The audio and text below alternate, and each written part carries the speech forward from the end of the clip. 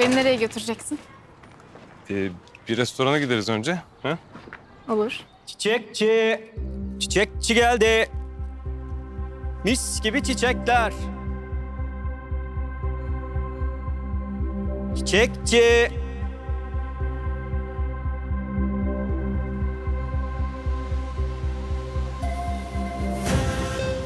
Çiçek vereyim mi abi?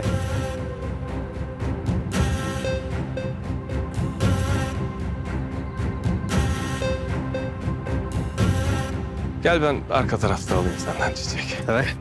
Ne kadar lazımdı? Çiçekler güzel ama. Ha? Ne kadar vereyim? Dur bakalım.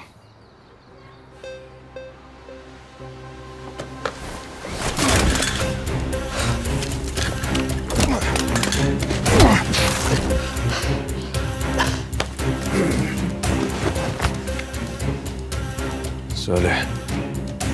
Kimin itisin? Takacı. Senin ölüm talimatını verdi. Bu daha başlangıç. Her yerde ölümle karşılaşacaksın. Sen de sevdiklerinde.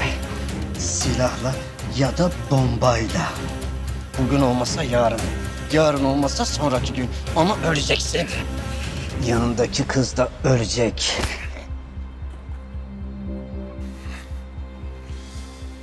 Kimse, kimsenin ölüm saatini belirleyemez. Ama birinin yerini söyleyebilir. Şimdi söyle bakalım takacı nerede? Takacı'yı hiç tanımıyorsun. Birinin ölüm fermanını verdi mi kayıplara karışır. Onun nerede olduğunu kendisi bile bilmez. Görünmek istemediği zaman da hiç görünmez.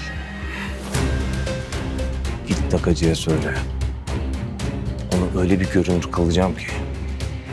...bir daha istese de saklanamayacak. Anladın? İyi.